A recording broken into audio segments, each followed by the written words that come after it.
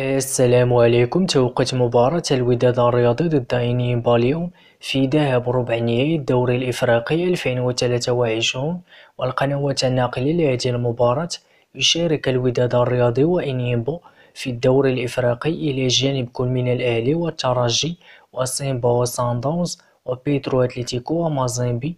وسيستضيف ملعب إنيمبا الرياضي لقاء الوداد الرياضي وإنيمبا في ذهاب ربع نهائي الدوري الإفريقي اليوم الأحد اثنان وعشرون أكتوبر ألفين وثلاثة وعشرون في حدود الساعة السابعة مساء بتوقيت المغرب وتونس والجزائر التاسعة مساء بتوقيت مصر والسعودية إن شاء الله.